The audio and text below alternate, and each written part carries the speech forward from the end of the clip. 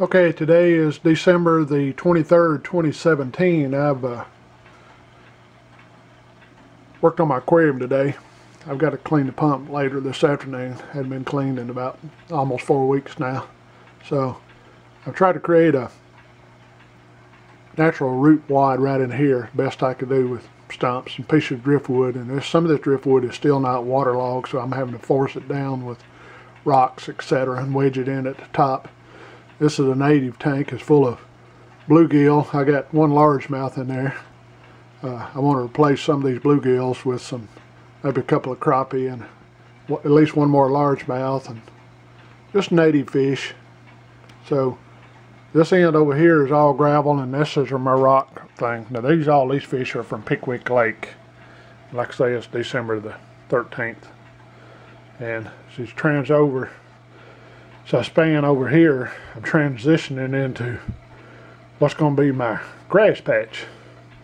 So I got some brown algae on the back I'll have to deal with. Uh, I've got uh, Monte Carlo planted in the covered ground right here. I just replanted it this morning.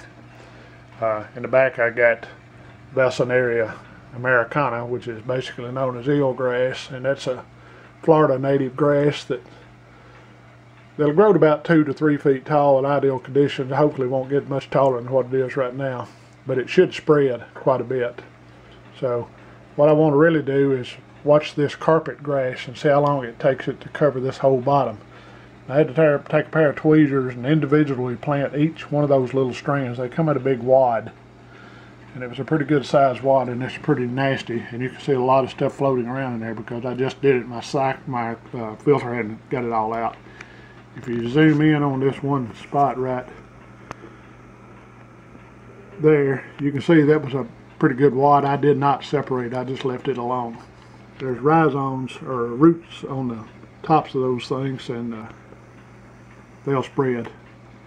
So hopefully I got the right combination of substrate here that'll get them going. But anyways, December the 13th, 2017, and uh, we'll come back and look at this thing at least maybe a week or two weeks, or for sure a month. But that's my native tank, and see the reflection of the television off my screen down here.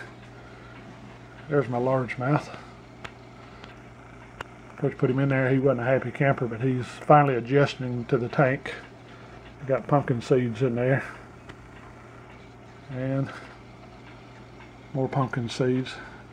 Mostly pumpkin seeds. I think I've got 12, 13 fish in there, not counting a school of Tuffy minnows I put in there yesterday for the bass to eat so he wouldn't eat anything else. And mysteriously, a lot of them disappeared last night. Yeah, could possibly they could have got sucked up in my filter because I don't have a, the strainer over it because I'm trying to cycle all this stuff out of here. But anyway, that's that's my tank. We'll see it again in about a week to two weeks and see how it does then.